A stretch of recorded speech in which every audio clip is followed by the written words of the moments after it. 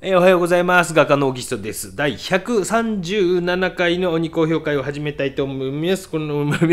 この鬼高評会は、えーおじさんである画家であるおじさんが皆さんの作品を、あじゃあこじゃあ言っていく企画でございまして、第1、第3木曜日に募集をしておりまして、えー4月の20日分はこれで一応最後となります。もし言われてないという方いたらごめんなさい。えよろしくお願いいたします。今日は12枚最後あります。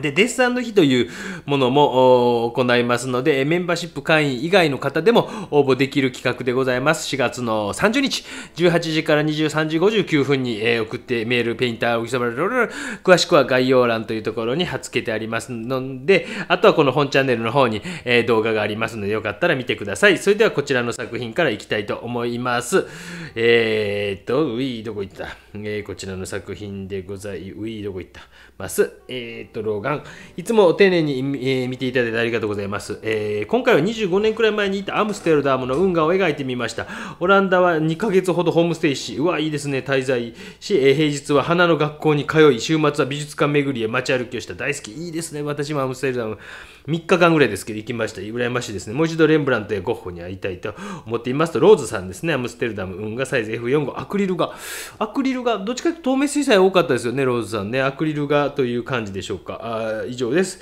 えーお肉をよろしくお願いしますということで。あのじゃあ25年ぐらい前の写真から描いたということであっていますかね。なんか僕もなんか、えー今からもうもう10年ぐらい前になるかな、えー8年ぐらい前かな、えー行きました。えっ、とうちの親が亡くなった次の年親父が亡くなった次の年かあなんかやったけどおふくろも連れてったらもうおふくろは歩く歩く。もうアホみたいに歩いて、ね、えすごかったなっていう覚え思いがあります。あもう二度と袋とは行きたくないなと思いました。もうもうねあの当時は60ちょっとで今はもう70ちょっとやからね今はもう多分このああんな歩けないでしょうけど。えーちょっとね、暗いところが暗すぎる。少し暗すぎて、まあもちろん写真から描いているからというところはあるんですけど、えっ、と、ちょっと暗すぎるかなというので、なんかこう損しているなという感じがします。ちょっとこう本当にもうどんどん黒黒くしていくぜみたいな感じが見受けられるのが少し損しているなっていうのと、運河のやっぱりこう、水の奥行きみたいな感じみたいなのがうまくもうちょっと表現できてきたりすればいいなということで、少し暗いところを暗くしていって運河とかを今加湿していってます。まあやっぱアクリル結構素材としては合っているような気がしますよ。なんかこう透明水彩、まあ、人物をいつもね、えーお子ちゃまとかを入れてくる。ちょっとこう明るくしつつ、その明るさみたいなのを、まあ、どこに入れていくのかなというところをちょっとこうですね、えーとしっかりとこう把握しながら光の方向を把握しながらですね、えー木々にこう光が当たっている感じみたいなのねアムステルダム私も行きたいなともチャリンコがねあのすごくこうやっぱりえー、とあのいっぱい走っているねすごいチャリンコ道みたいにしっかりあってすごく素敵やなと思いましたよね。まあなかなかね日本でああいう街づくりってなかなかできんやろなと思いながらあーすごくこう感動しました。私が泊まったホテルの、えっ、と、横、横、横、3つ、3軒横ぐらいのとこに、いわゆる日本では、えー違法なものをが吸えるとこ、僕行ってないですよ。あの、があって、うわ、こんなあるんや、ちゃんとっていうふうに思ったのをよく覚えてます。ちょっとこう、影のところを明るくしてみて、えー少し明るさをもう一回整理して見るだけで印象がガラッと変わりませんか？そしてね、運河のところとかに、こう、入ってくる絵の具みたいなのを少しこう整理しながら、まあ整理が難しいのかもしれないけど、ちょっとこう整理しながら明るさみたいなのの整理みたいなのを少ししていって、丁寧に丁寧に追いかけていくということを少ししてもいいのかな。ザザザとこう書いていく良さはあるんですけど、それが雑に見えてしまうと損なんで、やっぱりこうダイナミックか雑かは違う。久しぶりに言いましたね。ダイナミックと雑は違うというんですけどちょっとこう雑に見えてしまうので、えー、と水のところとかも大事に追いかけてあげてほしいなというふうに思います。だいぶ印象が変わったんじゃないでしょうか。でまあこの木々の隙間から見える後ろの街並みとかっていうのもやっぱりしっかりと絵の具を混色しながらあ大事に、えー奥の方に抜けていく空間とかも大事にこう追いかけていってあげるだけで、えー印象がすごくこう良くなっていくタイプの絵なんだろうなというふうに思います。まあ、だからこう最終的にはこう明るい色とかで、えー、描いていきながら後ろにちらちら見える街並みみたいなのを触ってあげていってみてください。少しこう整理をして影ちょっと暗すぎるかなとか木の幹と葉っぱの影の色が同じ色になってしまってる。こういうところちょっと注意してみてください。はい次の作品に行きたいと思います。こちらです。この方もねお上手ですよね。ワソンさんやったかな？えっ、ー、と、4回目の応募ですと、ワソンさんですね。よろしくお願いします。これまで難しそうと敬遠していたガラスを練習として初めて挑戦しました。描き始めは練習だからと気が緩んでおり、コップの内の反射光や影内の周光部分がおろそかになってしまいました。描いている間に思ったよりガラス風に描け、途中から気に入ってみました。ステップアップにつながる助言をいただけると幸いです。ワソンさんと。バカラガラバカラロックグラス、高級厚口水彩紙、えー、八つ切り 27×38 センチ、2H×8B、色鉛筆、黒、殺筆、練り消し、物、消しゴム、えー、白、絵の具、あ、白い絵の具使ってですね、極細サインペンを賞味5時間で描いたと。いや、お上手ですよ。あの、デッサンとしてすごくこう、で、白い、ここのところに黒いのと白いのを入れて、ああ、もうなんかすごい、えー、いい作品やなというふうに思います。まあ、なんかこう、次の課題とかっていうのはもう、まあもう本当にこう、一つ言えるとしたら、あの、作品性ということでしょうね、ということじゃないですか作品性ともうもうデッサンでもある程度作品として、成立するか否かみたいなところをを少し追求していってあんまりこう過失するところもない、えのすごいいい作品やと思います。まあ、ちょこっとだけいじっていったのはグラスの回り込んでるところの光みたいなのがちょっとこうなんかうまいことグラスに沿っていない感じがするなと思ったんでちょっとこうワントーングレーにして、まあ、形にある程度こう沿って入ってくるちょっと今ものすごい解説が難しいなと思っているところなんですけどそのところみたいなのが少しこう入ってあれあんま出へんねもうちょっと明るくねならんかね。作品性何ですかねまあ、本当に僕の好きな作家さんで日本人だと磯江剛さんっていう、ね、あの亡くなられたもともと広島でも教えられていたあの写実画家の人がいてもうデッサンもめちゃくちゃかっこいいんですよ。でなんか本当にこうここの回り込みのところねここのところがちょっと回り込みを止めてしまってるような感じがするので少し加湿してみたんですけども。でデッサンで作品にするという本当にこうはもうなんかあの日本人では僕初めて見たかなぐらいの感じ。野田博先生とかもねお弟子さんですごいかっこいいのを書いてはったりするけどあの磯江剛さんの本物をいつ見たかな？大学の4年生か院生かぐらいの時やったと思う。西宝堂さんっていう画廊で見た時にうわデッサンも作品になるんやなと思ったことを覚えております。まあ例えばあとはデッサンだけで、まあ、鉛筆デッサンでやってる木下、えー、新先生進むっていうものかな？新先生とかなんかこうデッサンで作品にするというまあデッサンもじゃなくて違う画材とかも使われていっていいとは思うんですですけどもちょっとデッサンで作品にするということをちょっと次の課題として考えられてみてはどうでしょうか。この影なんかもすごい面白いですよね。こういうところを皆さんもこういう観察眼を持ってすればガラスも主役やけどガラスのえっ、ー、と何ですか？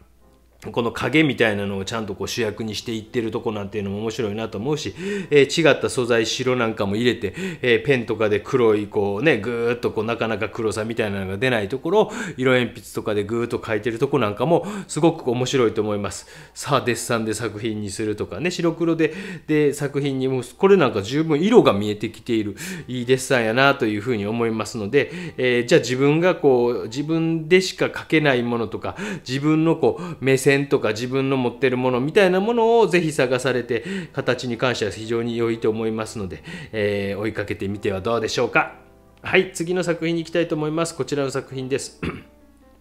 まあ、これもなかなかが、皆さんね、本当にレベルが上がってきてますね。初心者の方大歓迎ですよ。いつも丁寧な指導ありがとうございます。まだ2度目のど素人ですが、いやいやいや、先生のおかげでますます描くことが楽しくなりました。今後ともよろしくお願いします。甘辛ず辛すぎずのコーヒーをどうぞよろしくお願いしますと、春花水木さん、えー、ステイとタイトルは、アクリル絵の具、色鉛筆、サムホールサイズ、作品への思い、今忘れられている娘の熊さんと私が幼い頃読んだ童話集を見つけて、何も考えず、ただ愛おしい気持ちで描きましたということで、あの非常にこうモチーフに対してあの丁寧に追いかけていっているなという感じが非常に見受けられてあのこれもまた素晴らしいいい作品じゃないかなと思います。あの影の色がちょっと暗くなりすぎてしまっているのでこれちょっともったいないなっていう感じがします。やっぱこう白いものの中の例えば本やったら白いものの中の影とかあなんかこうえっ、ー、と花があるところ。もうこういうところすごいちゃんと大事に、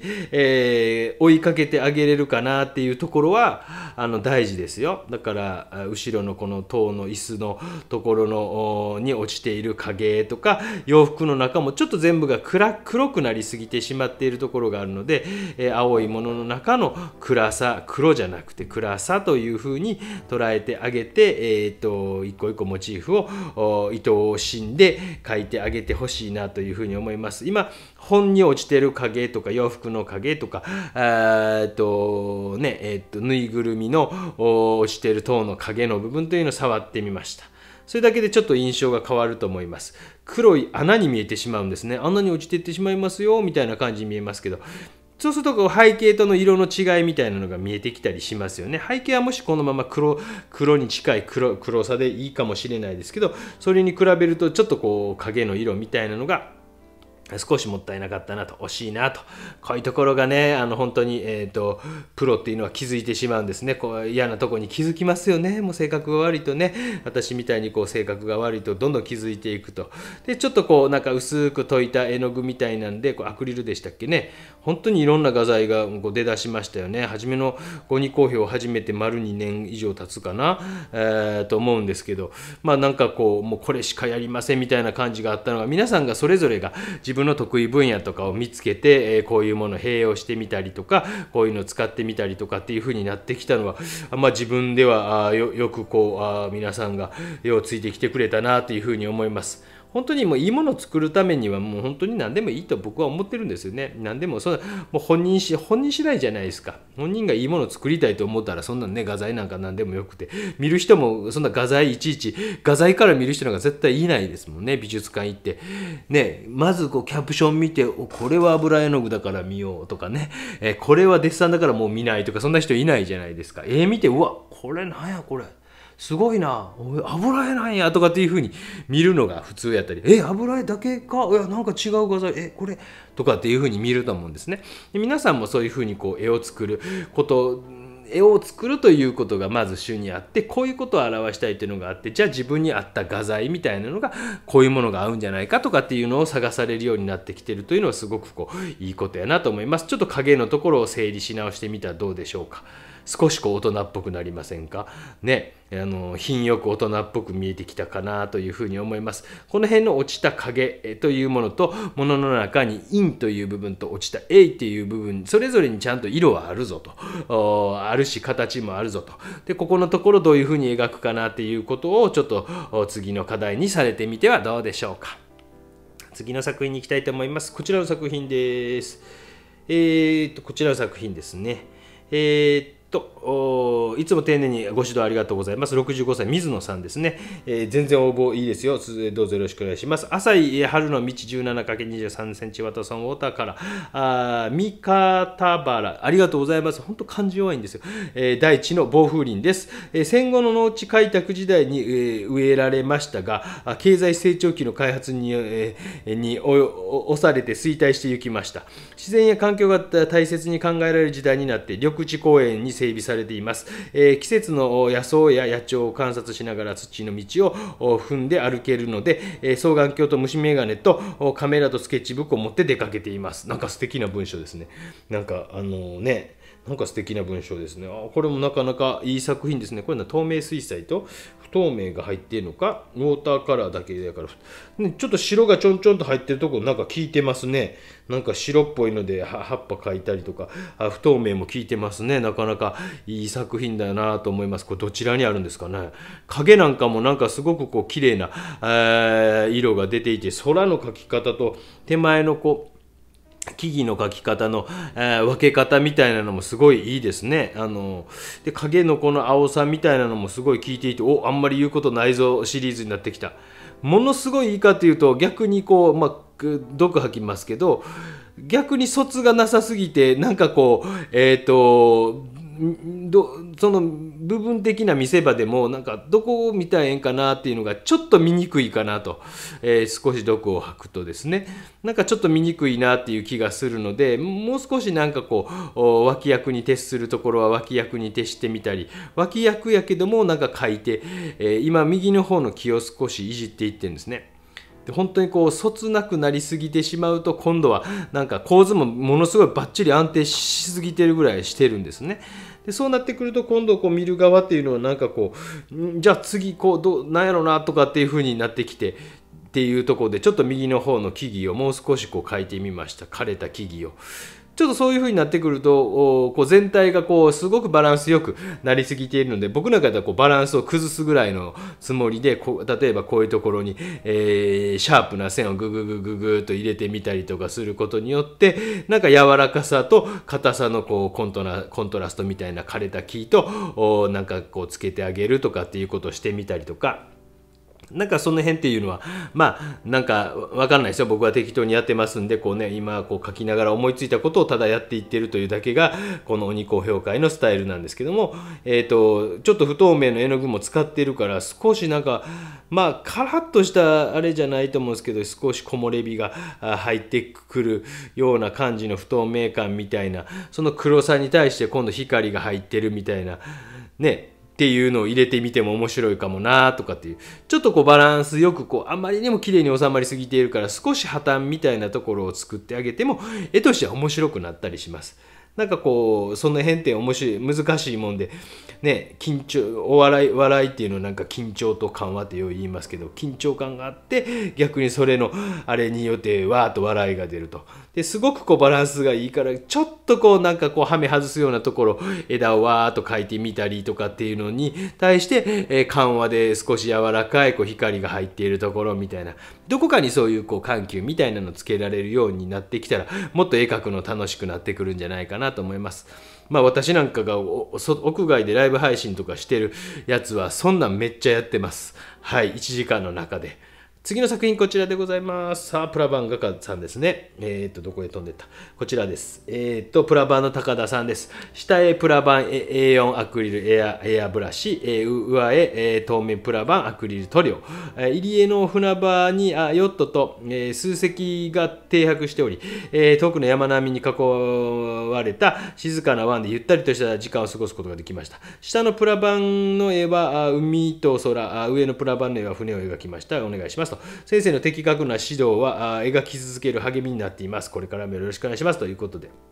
もう何かこうこの方に関しては先ほどのこうガラスのグラスの方と同様で作品っていうかクオリティ、えー、質みたいなのこの前の方も水野さんでしたっけねあのすごい高いんですけどさあぼちぼち次のステージへ行っていいですよ。もう私しか書けないものを探しに行くっていうことでしょうね。まあ例えば、あのー、本当にこのプラ版と本当に自分にとって相性のええもんなんやろうなと。でもう自分しか書けない目線もそれはもうこう個性みたいなところにつながってくるんですけども、ね、これは誰も書いてそれを探し続けるのが大変やったりするんですよ。でまあ私なんかも別にこう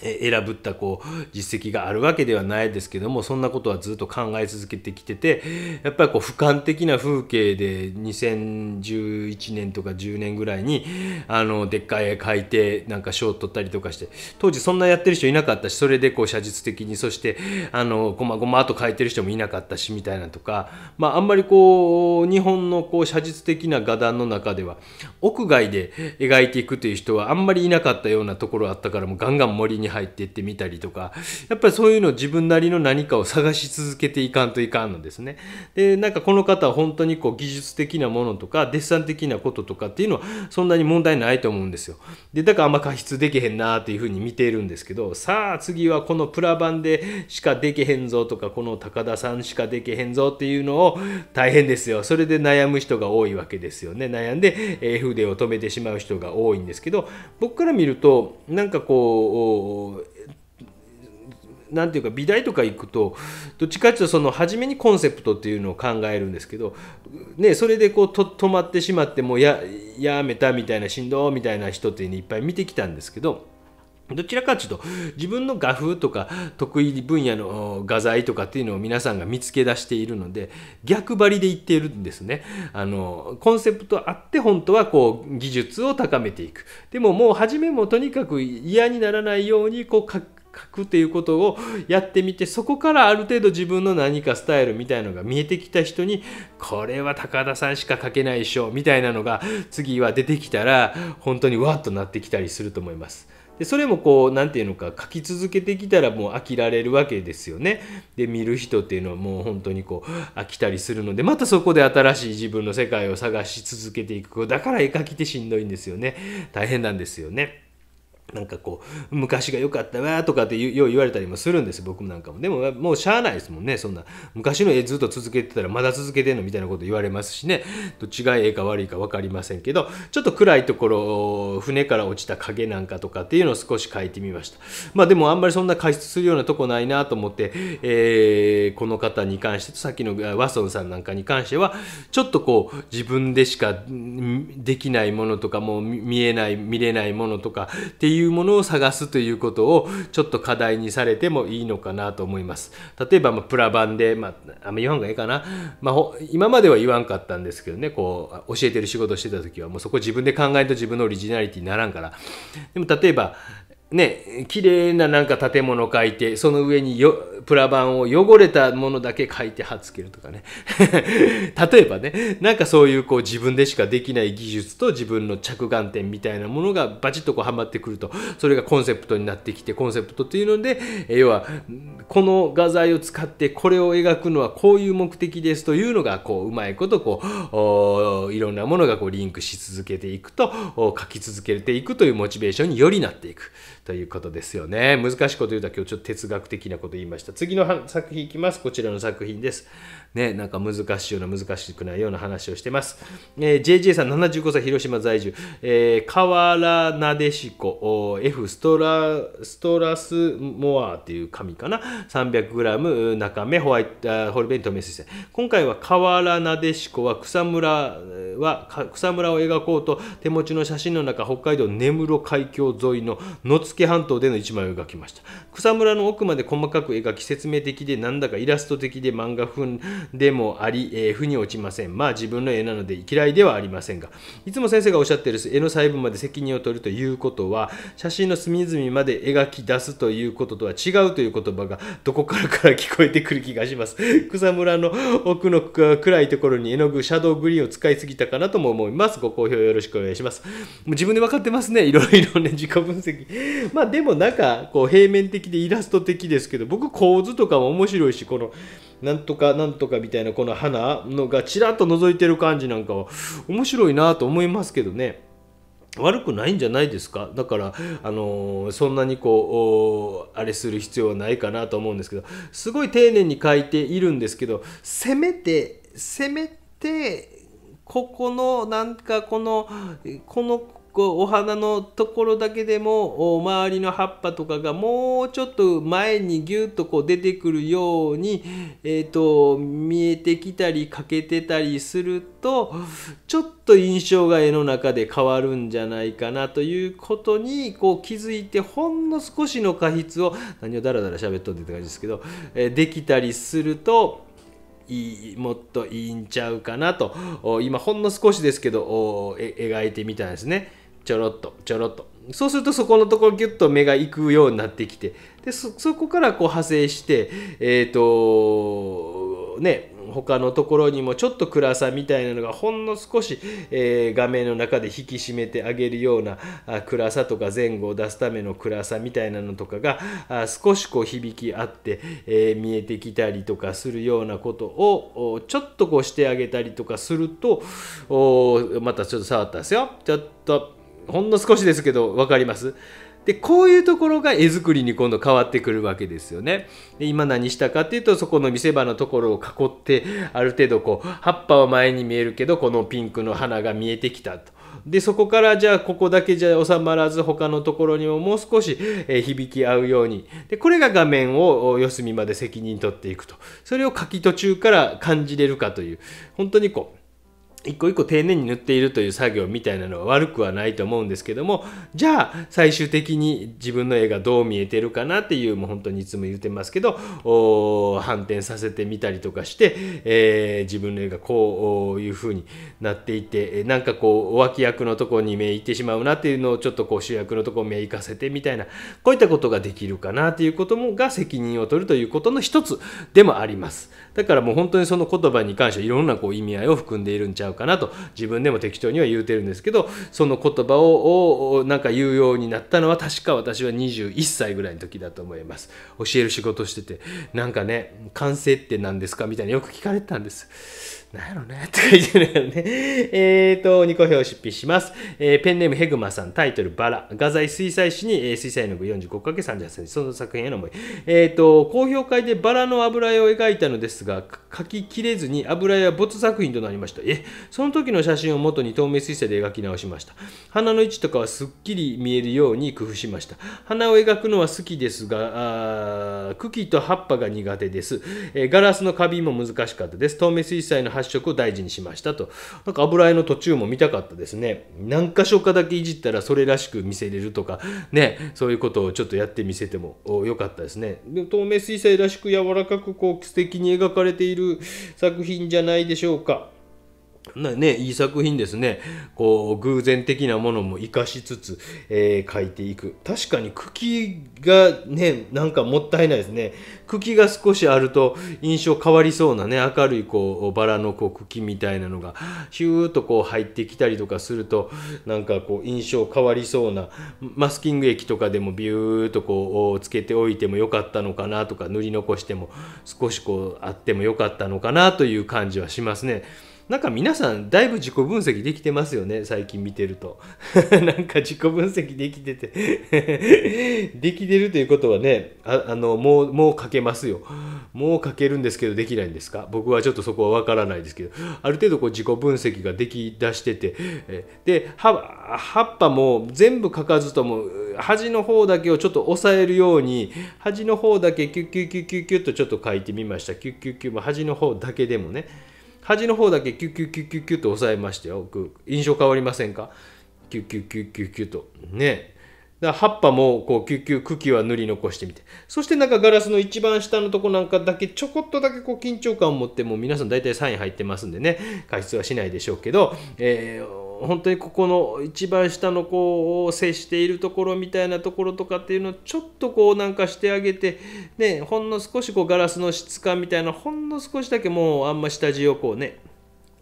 壊さない程度にしながらほんの少しだけこういじってあげたりとかすると、えー、さあどうでしょうかあがガラッと印象がほんの少しのことで、えー、変わってくるんじゃないかなと思います。大体皆さん自分の自己分析できているなと。さあ、あとは最後の引き締めるところみたいなの。それ最後の時間っていうのは、どっちかっていうと、こう、細かい、こう、大事なところ、見せ場をぐーっと書くというだけじゃなくて、画面全体見て、ちょっとこういうふうになんか形引き締めてあげようかなとか、主役、第2の主役、脇役、3番目、4番目の脇役みたいなのをやる作業みたいなのがちょこっと入ってくると、なんかこう、もっと絵描くのも楽しなるしもっとこう完成度みたいなの油絵が多分途中で終わってしまってるっていうのはこういうことができてないからなんちゃうかなというふうに思ったりとかしています。ぜひぜひぜひこういったことを少し覚えられると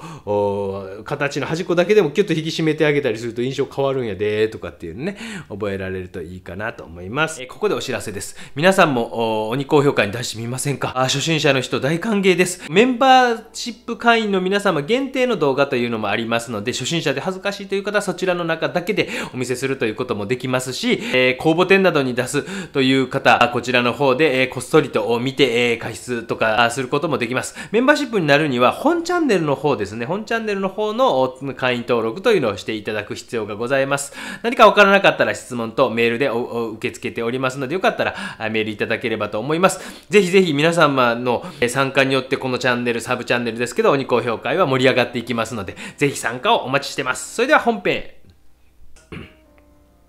次の作品こちらです、えー、こちらの作品でございます。えー、と、ペンネーム長月さん、初めてのさくらんぼ色鉛筆、色油彩と色鉛筆、キャンバス、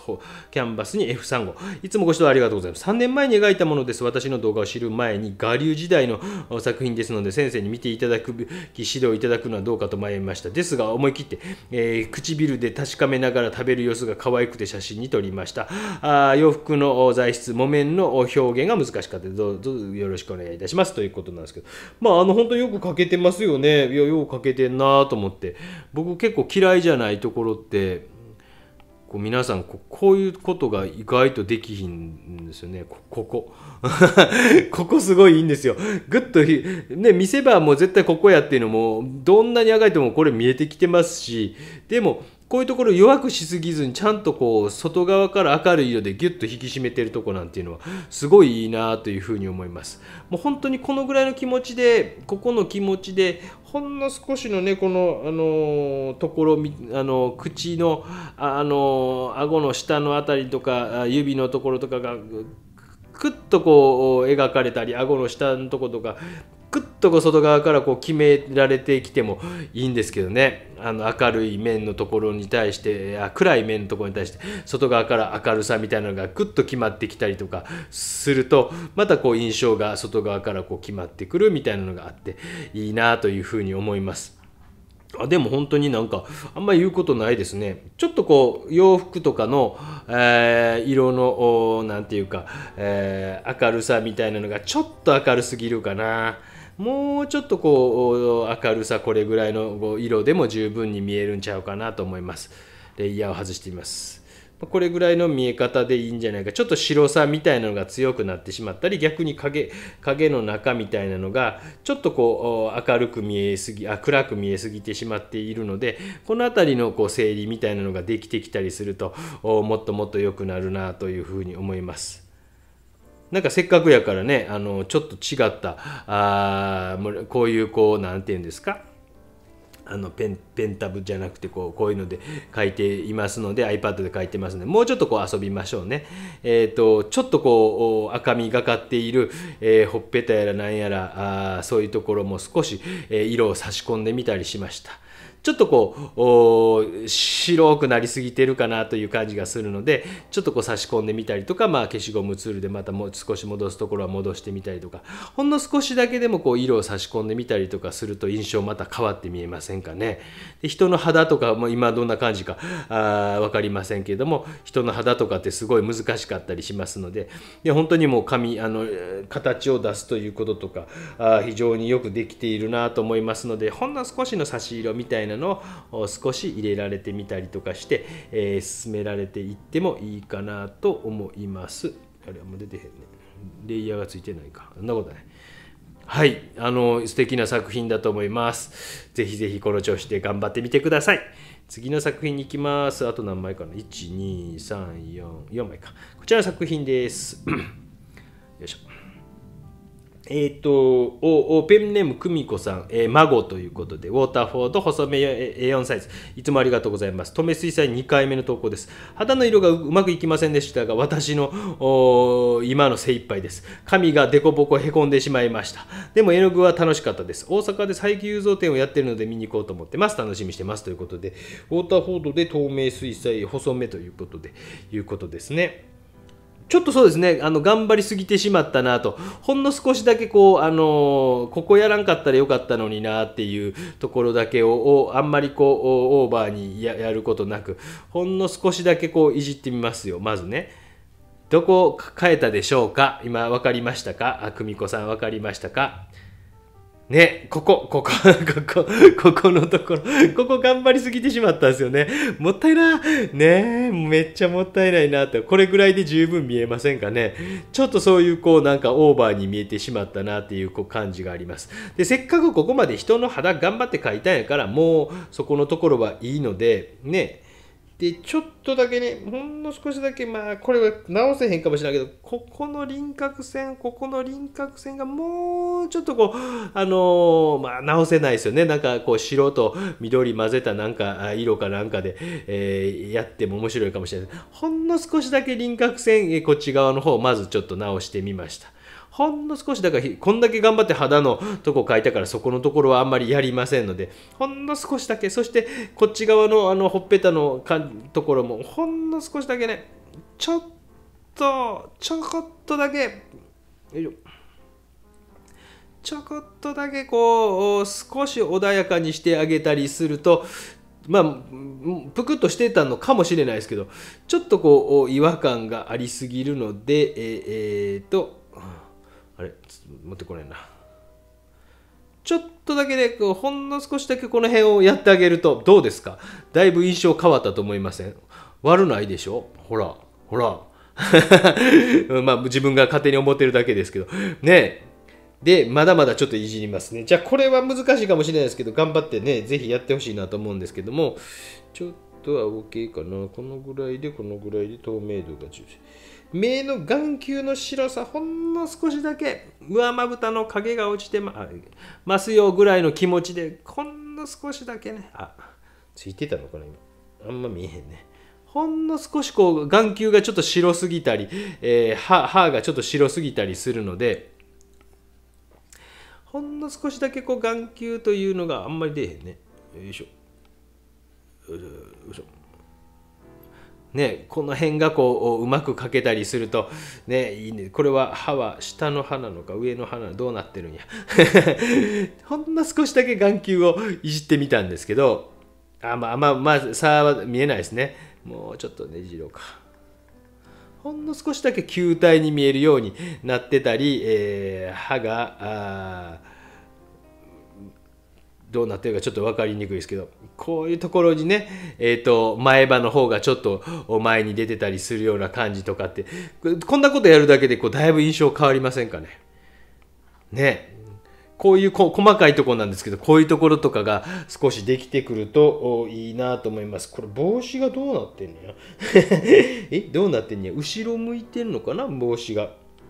まあ、ちょっとその辺とかっていうのも次の課題に、えー、奥行き感みたいなのとかあ少し課題になってくるかなと思います。帽子が上に乗っているのか否かとかね。でこういうところを少しこうもう直せる範囲でもし直してみたりすると印象がガラッとこの人の肌なんかはいいのでその周りとかですね眼球の部分とかそういうところを少し直すと印象がガラッと良くなるんじゃないかなと思います。次の作品です。こちらです。すみません。この辺の方もだいぶ遅くなってしまって今回ね。えー、っとすみません。小鉄さんとホワイトワトソン、うん、ホルベイ絵の具ガッシュ白 F85 白壁に映る桜の影を意識して描きましたが混色しすぎて汚い壁になってしまいました。ご評よろしくお願いいたします。ということで。いや、ほんと僕もそこ思ったんですよね。うわあ、いい感じやなぁ、思って。でもちょっとこのなんかこう影の色みたいなの影と、えー、壁の色みたいなのがもったいないなっていうふうに私もやっぱこれ初め見た時思いましたあこここの感じやったらやっぱ綺麗にの塗り残しておいてえっ、ー、とうまくですねで、斜めの影やったら斜めの影が落ちてるっちゅうことやったら、どちらかから光が来てるっていうのが分かるように、ここの塗り残しみたいなのができてたらね、自分でも皆さん分かってきてますもんね。面白いな。初めの頃はね、そうでもなく皆さん自信満々で僕にボロクソやられて怒ってはりましたけどね、自分でこう自己分析できるようになってきはったんでしょうね、多分ね。あ、ここなんかもうちょっとこうしとけばよかったなとか、まあこれやったら本当にもう激落ち組んで頑張って、あの、やりすぎずに、えー、少し拭き取ったりすれば少し出るかもしれませんけど、できるかもしれませんけど、ちょっとこう、いじってみたりすると、あ、影が落ちていると。やっぱ当初のこう目的みたいなね、えっ、ー、と、見せ方みたいなのが自分のなりにできたりするんちゃうかなと思います。そしてちょっと桜の中隙間に見えているこう青青さなんか全部する必要ないですけどほんの少しだけでも一部の箇所だけでもちょっとこうサイドの高い色みたいなのを置くとこの白壁の微妙な色みたいなのがよりあ後ろの青さみたいなのによってより生きてくるということも起こってきます。でこういうことを本当に初めからこう計画立てて、えー、やっていかれてほしいなというふうに思います。そしてやっぱり下の方に落ちていってる影なんかもちょこっと整理しながらあと進めていってもいいのかなともうちょっとこうあ書くんやったら書いてあげてえっ、ー、と白壁がに影が落ちているというのがより分かるような感じに、してあげても面白いかなというふうに思いますので、えちょっとこう下にあの落ちてる、影まで少し最後いじっときました。ね、そうするとこうだいぶ印象が変わって見えてきますよね。ね、でこういうところ本当にもうなんかね書き出す前からやっぱりこうあのある程度計画立てて我慢やっていうところはもう我慢せんといかずもね。でその我慢っていうのが透明水彩っていうのは意外とこう大事なあ画材かなというふうに思います。一生懸命書いたからいいでしょうっていうのはこう努力賞っていうのは僕美術ってないと思ってるので基本的にはやっぱりその計画を立てて自分の目的を貫通して人にどう伝えるかということやと思いますので、えー、そういうところを大事にされてみてはどうでしょうか。あのやろうとしてることよう分かります。次の作品でございます。あと2枚ですね。すみません。遅くなりましたが聖子さんでしたよね。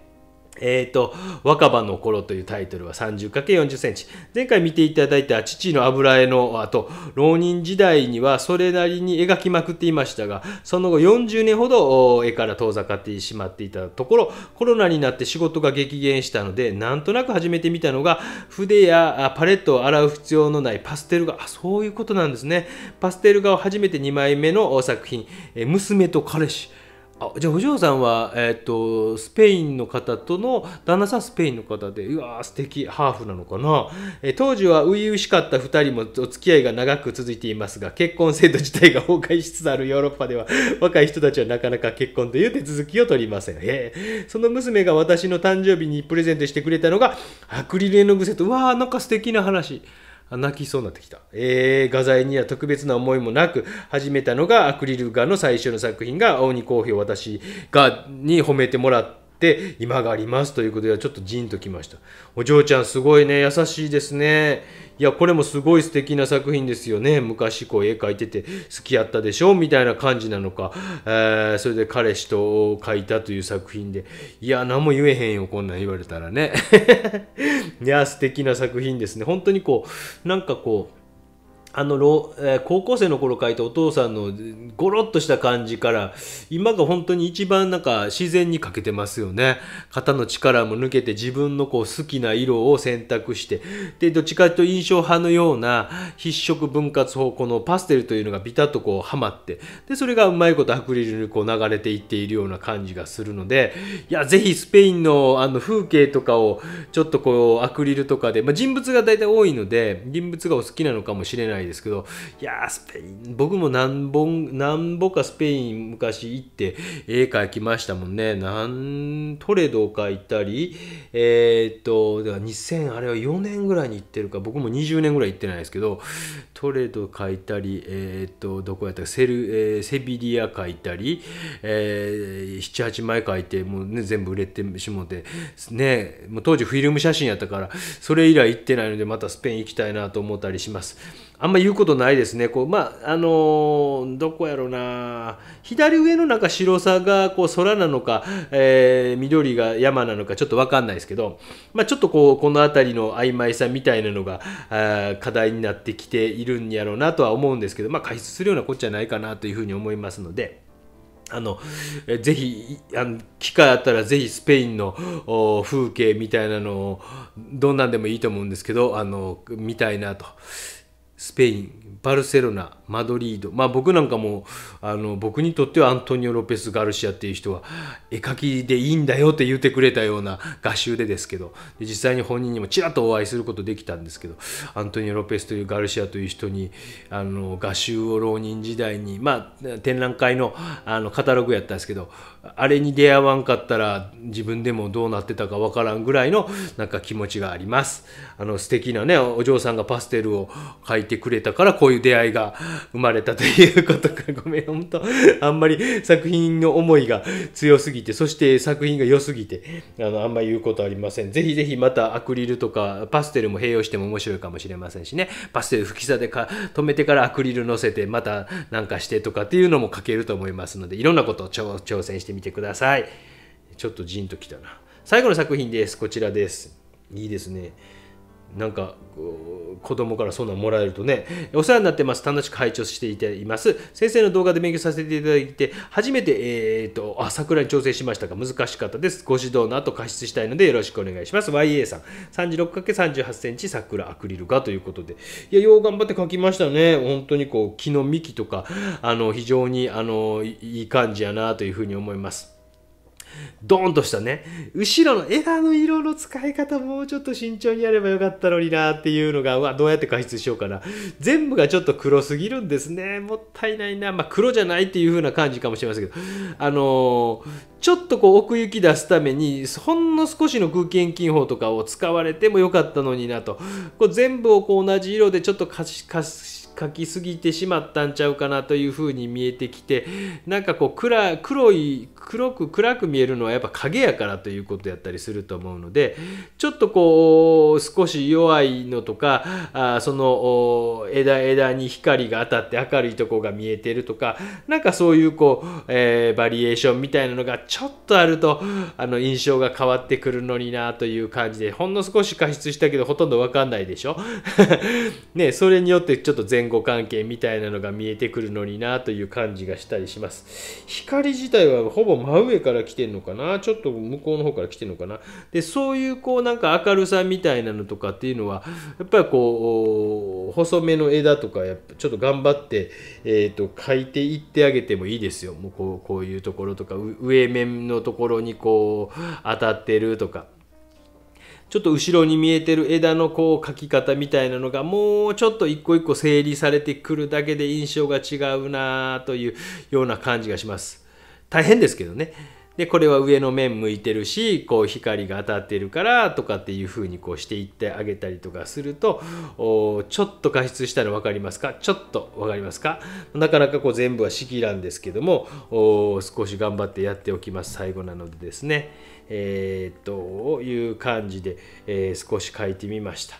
でそうすると枝の奥行き感みたいなのがちょっとさっきよりも出てきたと思いませんか？そうするとなんかここの幹のところみたいなのがあちょっとまた見え方が違ってくるかなと思ったりします。でなんかこうこの幹なんかもなんかえー、っとどのぐらいだったっけな？このぐらいの色のなんかこうおおおおなんか白っぽい感じのなんかこうあったりしません？なんか。なんかなんかばっかり言ってますけど。なんかねあれ綺麗ですよね。なんか桜のこのなんかブルーグレーみたいななんかこういうの綺麗やったりしますよね。なんかそういうのとかがあればなんか持ってきて、えー、そこには実際なくても持ってきて、えー、少し水で薄めたような感じのものでえー、っとお少し、えー、書いてあげたりしても面白いのかなというふうに思います。少しこうね水で薄めた感じのアクリル絵の具でこう溶いてみてシャワシャワとこう溶いてみて、えー、描いてみたりとかするとなんか幹の感じっていうのちょっと印象変わったりするんじゃないかなと思います。まあ、そういうのはちょっとこう嘘ついて持ってきてあげたりとかしてもいいのかなというふうに思ったりしますので、まあ、そういうこうなんかあうまいこと嘘をつきながらあ楽しみながら、えー、そんなんなかったやろなんて言われてもそんな知ったことじゃないわっていう感じで、えー、されてみてもいいのかなと思います。